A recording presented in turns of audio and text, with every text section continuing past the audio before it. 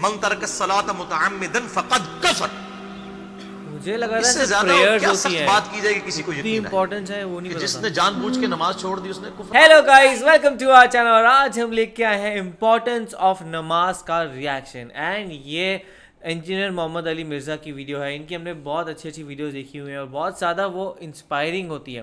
And आपको एक motivate करती है कि किस तरीके से हमें गॉड और माइटी के लिए वर्क करना चाहिए एंड किस तरीके से हमें उनका मतलब और साथ में वो जिसे इंपॉर्टेंस बताते हैं, काफ़ी सारे जो हिस्टोरिकल फिगर्स हैं इस्लाम के, उनकी वो बहुत अच्छे से बताते हैं। जैसे वो खुर्रम अल सादी का बताया था तो वो वाली बहुत इमोशनल वीडियो थी और ऐसे ही इन्होंने बहुत, जैसे प्रॉफिट मोहम्मद का ही बताया था तो बहुत इमोशनली वो सारी चीज़ों को वो डिलीवर करते हैं। एंड यहाँ पर वो नमाज़ की इंपॉर्टेंस बता रहे हैं। सो लाइक ये चीज़ हमारे लिए भी बहुत यूनिक है लाइक हम लोग ऑफकोर्स दूसरे रिलीजन से हैं तो हम नमाज़ ज़्यादा नहीं करते, लेकिन हमने देखा हुआ है कि लाइक का, मेरे सारे मुस्लिम फ्रेंड्स को भी एंड इवन जो हमारे साथ वर्क करते हैं, जो कलीग्स होते हैं, उनको भी देखा कि लाइक वो एक टाइम हो जाता है दोपहर का या शाम का तो उस टाइम पर वो चले ही जाते हैं। सो लाइक अब हमें नहीं पता होता कि वो ऐसी क्या इंपॉर्टेंस है उनके लिए, और क्या चीज़ है कि वो उसे मिस नहीं करते हैं। सो वो चीज़ शायद हमें ये वीडियो में जानने को मिले। और मुझे ऐसे लगता है ना कि आज के टाइम में, आज कितने बिज़ी स्केजुअल में ना मेडिटेशन या नमाज़ या फिर प्रेयर करना बहुत बहुत ज़्यादा इंपॉर्टेंट है, क्योंकि हम लोगों को ना इतनी भाग दौड़ में पीस नहीं मिलता है। और नमाज़ पढ़ने से इंसान को बहुत ज़्यादा पीस मिलता है और जो, और पॉजिटिव वाइब्स मिलती है बेसिकली और वही सारी चीज़ें हमें मेडिटेशन से मिलती है और हमें प्रेयर करेंगे, हम तो मिलती है हमें। तो लाइक वो हम सारी चीज़ें ना मिस करें इसीलिए शायद बोला गया है कि आप नमाज़ करिए, ताकि आप ना मतलब अगर आप नेगेटिव फील करो डाउन फील करो तो आप नमाज़ करोगे, आपको अचानक से पॉजिटिव वाइब्स मिलेगी और आप में वापस एनर्जेटिक एनर्जी आ जाएगी, आप एनर्जेटिक फील करोगे। तो मे बी इसीलिए बोला हो गया हो, और जैसे हम लोग हैं तो हम लोग हम तो नमाज़ नहीं करते हैं। और लाइक कभी कभार ये हो जाता है कि मैं थोड़ा बहुत मेडिटेट कर लेती हूँ लाइक दिन में पाँच छः मिनट ज़्यादा नहीं। तो लाइक पर मुझे ऐसे लगता है कि हमें मेडिटेशन या फिर नमाज़ पढ़ने की हैबिट बनानी चाहिए अगर हम चाहते हैं कि अपनी लाइफ में पीस करना। तो हमने जैसे पार्टनर ने कहा हमने मोहम्मद अली मिर्ज़ा की बहुत सारी वीडियो देखी और वो बहुत ज़्यादा अच्छी स्पीच देते हैं। तो देखते हैं आज ही क्या बोलने वाले तो देखते हैं वीडियो कैसे होने वाली है। भाई देख लेते हैं कैसा होगा। तो आप भी देखो हम भी देखते हैं। लेट्स और भाई अल्लाह ने कब कहा है कि मुझे तुम्हारी नमाजें चाहिए? अल्लाह तो कहता है तुम्हें तुम्हारे लिए नमाजें चाहिए। और नमाज़ को इतना कैजुअल बना लिया इन्होंने। सही मुस्लिम के अंदर हदीस है। आप सल्लल्लाहु अलैहि वसल्लम ने फरमाया बंदे के कुफर और इस्लाम के दरमियान फ़र्क ही नमाज़ है। वाह। जो नमाज़ पढ़ता है वो मुसलमान है और जो नमाज़ नहीं पढ़ता वो पाकिस्तान के शनाख्ती कार्ड में मुसलमान है। अल्लाह की डेफिनेशन में वो अमलन काफिर है।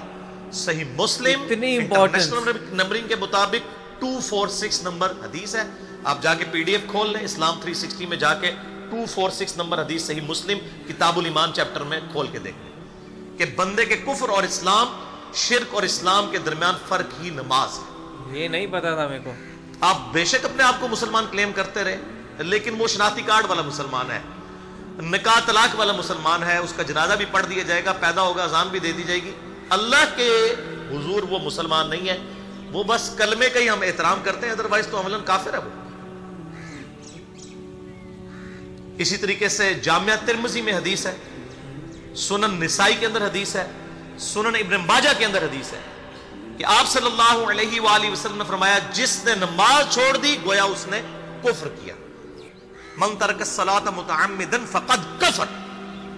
मुझे लगा इससे ज़्यादा क्या सख्त बात की जाएगी किसी को इतनी इंपॉर्टेंस है वो नहीं जिसने जानबूझ के नमाज़ छोड़ दी उसने कुफर किया। अब जानबूझ के ये ना समझिएगा कि मैं बाल बच्चों का यो कमाई करता रहना था मनु टाइम नहीं मिलता। जानबूझ की डेफिनेशन भी नबी इस्लाम ने बुखारी और मुस्लिम में मौजूद है कि अगर कोई शख्स बेहोश हो जाता है या सोया रह जाता है ये दो ऑप्शन है। या तीसरा ऑप्शन है वो भूल जाता है। तो जैसे याद आए उसी वक्त वो वाली नमाज़ पढ़ ले। लेकिन जो शख्स दुनिया को टॉप प्रायोरिटी मानता है अपना ऑफ़िस छोड़ने के लिए तैयार नहीं, अपना क्लिनिक छोड़ने के लिए तैयार नहीं है, और अपनी दुकान छोड़ने के लिए तैयार नहीं है। नमाज़ के लिए तो ज़ाहिर है कि वो तो अपने आप को धोखा दे रहा है। अल्लाह ताला तो अपने मामला के अंदर बिल्कुल स्ट्रेट फॉरवर्ड बिल्कुल ये जेन में रख ले। जामिया तिरमजी में सही सनत के साथ मौजूद है। अब्दुल्ला बिन शफीक ताबई रही ताला कहते हैं कि सहाबा कराम अली मरदवान सिर्फ़ नमाज़ के छोड़ने को ही अमाल में से कुफर समझते थे। यानी वो किसी को नमाज़ पढ़ता हुआ देखते थे तो कहते थे ये मुसलमान है। और किसी को नमाज़ पढ़ता हुआ नहीं देखते थे तो वो कहते थे ये काफिर है। ये जामिया तिरमजी है। ये कोई स्टोरी बुक नहीं मैं सुना रहा आपको। ये चीज़ आज तो फॉलो होती। अहमद में सही सनद के साथ हदीस है। नबी सल्लल्लाहु अलैहि वसल्लम ने माज इब्न जबल से फरमाया माज अल्लाह के साथ किसी को शरीक ना ठहराना। खा तुम्हारे टुकड़े टुकड़े कर दिए जाए तुम्हें सूली पे चढ़ा दिया जाए। तुम्हें आग में जला दिया जाए, अल्लाह के साथ किसी को शरीक ना ठहराना और माज, नमाज़ भी ना छोड़ना, क्योंकि जिसने नमाज़ छोड़ दी, अल्लाह ताला के जिम्मे करम से वो निकल गया। अल्लाह के हुजूर उसके लिए कोई हिस्सा नहीं है जिसने नमाज़ छोड़ दी। कितना क्रिटिकल इशू है। और इसी तरीके से मुस्नद अहमद में ही एक और हदीस है कि आप सल्लल्लाहु ने फरमाया, जिस शख्स ने अपनी ज़िंदगी में नमाज़ की हिफाजत की क्यामत वाले दिन वो नमाज़ उसके लिए नूर होगी, निजात होगी और उसके हक में दलील होगी। और जिसने नमाजों की हिफाजत नहीं की, उसके लिए क्यामत वाले दिन कोई निजात, कोई नूर और कोई दलील नहीं होगी। उल्टा उसका हशर कारून, फिरौन और उबई इब्न खलफ के साथ होगा। वलियाबिल्ला यहाँ तो हम कह देते हैं, या अल्लाह जो कुछ भी है, तेरे महबूब की उम्मत से है। यानी अल्लाह हमने तो अपनी इसलाह कोई नहीं करनी, हमें इसी तरीके से ही कबूल कर ले ओह, तभी लोग और कुछ वैसे उलमा का भी इसमें बड़ा बुरा किरदार है कि उन्होंने नमाज़ को भी इतना मुश्किल फ़र्ज़ बना के पेश किया है कि एक आम आदमी के लिए और जो दुनियावी मामला के अंदर भी इन्वॉल्व है और किसी ऐसी औरत के लिए जिसके कई बच्चे हैं मतलब उस रूटीन के अंदर उस नमाज़ को मैनेज करना मुश्किल हो जाता है। हमें तो इशा की सिर्फ़ सत्रह रखते बता दी गई हैं हालाँकि 24 घंटे के अंदर टोटल नमाज़ की रखते सत्रह हैं जिनकी अकाउंटेबिलिटी है। हाँ? और मैं ये बड़े यानी वसूख के साथ एक जिम्मेदार मुबल्ली की हैसियत से ये बात कर रहा हूँ। आप सही बुखारी और सही मुस्लिम खोल के देख लें फ़र्ज़ नमाजों की तादाद जो है वो पाँच आई है और उनकी रकतों की तादाद भी बयान हो गई है। फजर के दो फ़र्ज़ जोहर के चार फ़र्ज़ असर के चार मगरब के तीन और इशा के चार। और सफ़र में सारे दो दो फ़र्ज़ हैं मगरब के तीन। ये टोटल सत्रह रखते हैं। जिनकी अकाउंटेबिलिटी बाकी जितना गुड़ पाओगे उतना मीठा वो सारी नफली इबादत है। वो बुखारी और मुस्लिम दोनों में हदीस है, जिसने फ़र्ज़ के अलावा बारह रकतों में इस्तकामत की। और वो बारह रक्तें आप सल्लल्लाहु अलैहि वसल्लम ने पढ़ के भी बताई। और महातुल मोमिनीन में से सैयदा आयशा ने, सैयदा उम्म सलमा ने, सैयदा उम्म हबीबा रदी ने रवायत भी की कि दो फजर से पहले चार ज़ोर से पहले, दो ज़ोर के बाद, दो मगरिब के बाद, दो इशा के बाद। ये बारह सुन्नत मौकदा जिसने ये पढ़ी, उसे जन्नत में महल मिलेगा। अगर कोई नहीं पढ़ता तो गुनागारी वाला मामला कोई नहीं है। इसी तरीके से इसके अलावा एक और वितर की नमाज़ है, जो सुन्नत मौकदा है। वो सैदना मौला अली रदी अल्लाह सलाम का कौल है कि वित्र सुन्नत है सुन्नत है सुन्नत है, मगर इसे मत छोड़ो। है सुन्नत है, लेकिन ताकीदी है। आप सल्लल्लाहु अलैहि वसल्लम ने सफ़र में भी वितर और फजर की दो सुन्नतें पड़ी हैं। लेकिन ये सिर्फ़ अफजलियत के एतबार से ताकीदी है। इनकी काउंटेबिलिटी कोई नहीं है। अलबत्ता ये ज़रूर है सुन दाऊद में एक हदीस है कि जिसकी क्यामत वाले दिन फर्जों में कोताही निकल आएगी तो अल्लाह ताला फरमाएगा मेरे बंदों की जो नफली और सुन्नत इबादत है इसको तोल लो और फर्जों के इक्विवेलेंट कबूल कर लो। तो आप अगर यानी सुन्नतें पढ़ेंगे तो इसके इक्विवेलेंट नफलों की कोताही पूरी हो जाएगी। अदरवाइज़ अकाउंटेबिलिटी इसकी कोई नहीं है। इस जहन में रखिएगा। सही बुखारी और मुस्लिम दोनों में हदीस मौजूद है। एक सहाबी आए उन्होंने कहा या रसूलुल्लाह सल्लल्लाहु अलैहि वसल्लम मैं जन्नत में जाना चाहता हूँ मुझे कोई शॉर्टकट बता दे। आप सल्लल्लाहु अलैहि वसल्लम ने फरमाया इस्लाम लाने के बाद नमाज़ फ़र्ज़ नमाज़ को कायम रख। फिर फरमाया फ़र्ज़ जक़ात अदा कर फ़र्ज़ रोज़े दे। रोज़े जो है वो आ, उनको अदा कर और रोज़े रख। हज उस वक्त फ़र्ज़ नहीं हुआ था वो ज़िंदगी में एक बार है। तो उसने कहा या रसूलुल्लाह सल्लल्लाहु अलैहि वसल्लम जितना आपने मुझे बताया ना ना मैं इसमें ऐड करूँगा ना इसमें से कोई चीज़ माइनस करूँगा। और ये कह के वो चला गया। आप सल्लल्लाहु अलैहि वसल्लम ने फरमाया अगर किसी ने किसी जन्नती शख्स को देखना है तो इसको देख लो। क्या कमाल। जो ये कह के गया कि मैं फ़र्ज़ नमाज़ से ज़्यादा कोई नमाज़ नहीं पढ़ूँगा सिर्फ़ फ़र्ज़ रोजा ही है, रखूँगा हाँ। फ़र्ज़ जक़ात ही दूँगा। अब रोजा और जक़ात में तो हमारे उलमा को और आम पब्लिक को भी जो दीनदार लोग हैं उनको हजम होती है। कि कोई शख्स ये नहीं कहता कि भाई पीर और जुमेरात का रोजा सही मुस्लिम में हदीस है कि आप सल्लल्लाहु अलैहि वसल्लम के नफली रोजों की ये रूटीन थी। कोई आपको ये नहीं कहेगा कि जिसने जुमरात और पीर का रोजा ना रखा, उसके रमज़ान के रोज़े ही कबूल नहीं होंगे। कोई कहता है? क्योंकि उनको पता वो नफली है। इसी तरीके से जक़ात तो सिर्फ़ अढ़ाई फ़ीसद है ना। बाकी तो नफली सदकात हैं जितने मर्ज़ी दें। कोई शख्स नहीं कहता कि नफली सदका ना दिया तो आपकी जक़ात भी कबूल नहीं होगी। उल्टा ये कहते हैं और जी जक़ात दे लो तो बाकी सारा माल पाक है। लेकिन जब फ़र्ज़ नमाज़ की बारी आती है तो उस वक्त वो बारह रखते हैं भी सुनत मौका बीच में घसीट देते हैं। वो भी सिर्फ़ फजीलत है। टोटल सत्रह रखते हैं। दो फजर की, चार ज़ोर, चार असल तीन मगरब, चार इशा।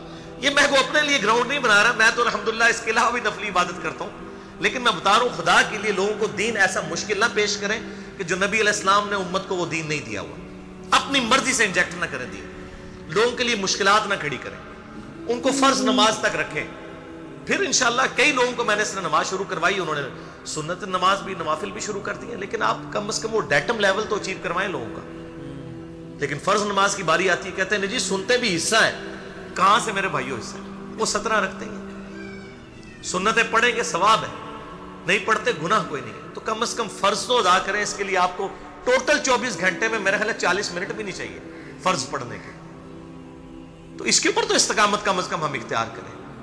और छोटी छोटी जो निटी गिटीज हैं, उनको तो हमने इतना फॉलो किया हुआ है और फ़र्ज़ नमाज़ के बारे में हम इतने कैजुअल हो जाते हैं। तो ये फ़र्ज़ नमाज़ की इंपॉर्टेंस इस हवाले से ज़रूरी थी, इसलिए मैंने साथ ही बयान कर दी। काफ़ी ज़्यादा ये मतलब आप कह सकते हो, आपको समझाने वाली वीडियो थी कि नमाज़ क्यों इंपॉर्टेंट है और कैसे है। क्योंकि हमें इसके बारे में कोई आइडिया नहीं था। पहले तो हमें यही था कि पाँच नमाज़ होती है, फिर उन्होंने बताया नहीं, बारह होती है। एंड साथ में इन्होंने किस तरीके से बताया क्या क्या चीज़ कैसे होती है और लाइक मेन जो है वो फाइव बहुत इंपॉर्टेंट होती है, वो आप नहीं छोड़ सकते। कि किस तरीके से उन्होंने बताया कि लाइक दो चीज़ इंपॉर्टेंट होती है कि आप अल्लाह के साथ किसी को भी कभी कंपेयर नहीं करो और दूसरी चीज़ ये है कि आप नमाज़ कभी नहीं छोड़ो। इन, ये दोनों चीज़ें एक मुस्लिम को करनी बहुत ज़्यादा ज़रूरी है, तभी आप कह सकते हो कि आप वो राइट पाथ पर चल रहे हो, वरना उन्होंने कहा कि आप, वरना आप काफिर ही हो। इस तरीके से उन्होंने कह दिया, वरना नॉर्मली आप ये बात नहीं सुनते हैं, क्योंकि हमने देखा हो जैसे हमारे भी मेरे फ्रेंड्स हैं, वो सारे ऐसे हैं कि वो लाइक वो जाते हैं नमाज़ पढ़ने के लिए और हम लोग उनका वेट करते हैं हाँ जी, कि जब वो आते हैं तो उनको वही मतलब हमें पता होता है वो किस किस टाइम पे जाने वाला है, इस उनका एक रूटीन होता है रेगुलर तो वो मेरे ख्याल से हर कोई फॉलो करता है। बट हाँ कुछ लोग होते हैं जो कभी कभी मिस कर जाते हैं या फिर, और ये मेनली उनकी बात करते हैं जो शायद नहीं जाना चाहते या फिर ऑफ़िस के काम की वजह से उसकी वजह से नहीं जा पाए तो उनका यही था कि आप ये छोड़ रहे हो तो आप सिर्फ़ एक बोलते हैं आइडेंटिटी कार्ड के मुस्लिम हो, वैसे आप मुस्लिम नहीं हो। तो ये बहुत आपको एक बोलते हैं एक को छूने वाली वीडियो थी। हाँ सीरियसली बहुत ही ज़्यादा अच्छी वीडियो थी, और उन्होंने ये भी बोला कि जैसे कोई अगर सो रहा है या फिर कोई मतलब बीमार हो गया, किसी को चक्कर आ गया, तब आपने नमाज़ मिस कर दिया ना तो आपको उस चीज़ की माफ़ी मिलेगी लेकिन अगर आप जागे हुए हो और आप कुछ काम कर रहे हो, उसके बाद भी आप नमाज़ नहीं पढ़ रहे हो तो बहुत ज़्यादा गलत चीज़ है। और उन्होंने ये भी बोला मोहम्मद अली मिर्ज़ा ने कि अगर आप नमाज़ नहीं पढ़ोगे तो जैसे बाद में कहा तो आप काफिर ही हो और आपको, आप पर अजाब होगा।